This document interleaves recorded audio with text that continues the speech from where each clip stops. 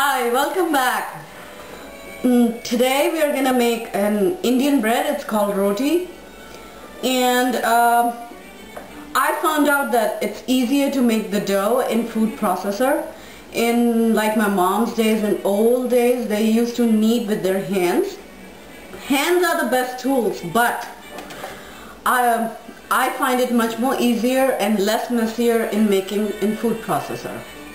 Here's the food processor. You need the plastic attachment to knead the dough. And um, I use whole wheat flour, which is healthy, heart healthy. Uh, I'm going to take like three cups of whole wheat flour, one, two, and three. You, you, you don't have to measure it, just eyeball it whatever you are comfortable with. And a pinch of salt. Salt is optional again. If you want to, you can. If you, it doesn't matter. So here it goes.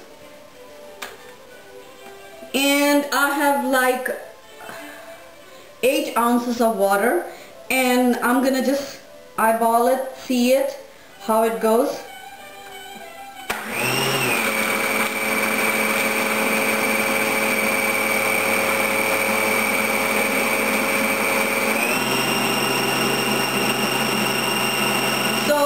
If you put too much water in it, it might make the dough wet.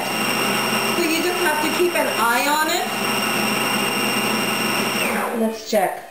Mm, no, there's not too much water, so we'll add a little bit of more water. And it is coming along.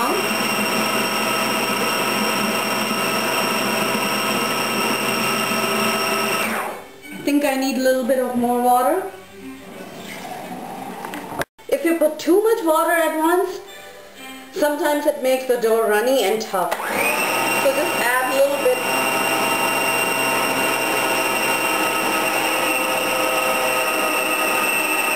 I think this is enough. It's almost there.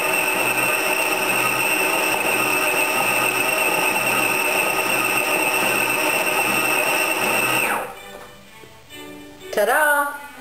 Here's the dough. And, but I cannot make uh, fresh rotis with this dough because it, it needs to be chilled. So I have one another in fridge and I'll see you in a little bit. Here it goes. Let me get a bowl for that.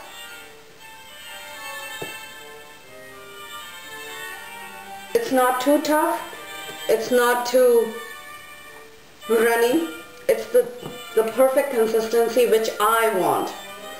And if you do it few times, you would you'll find out what what kind of dough you would work with.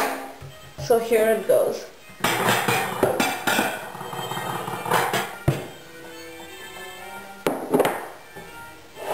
And you just, I've washed my hands before. My hands are clean.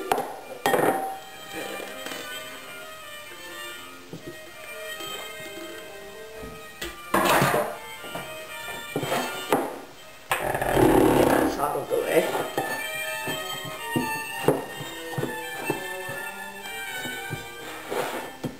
So here's your dough for your roti.